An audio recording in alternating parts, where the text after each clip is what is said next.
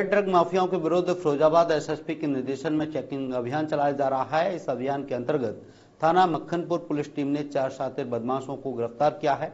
पकड़े गए आरोपियों के साथ दो मोटरसाइकिल, अवैध हथियार सहित एक किलो चरस भी बरामद की गई है।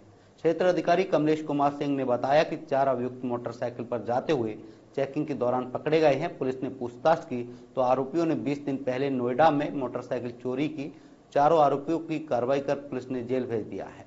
फिरोजाबाद से राकेश वर्मा की रिपोर्ट।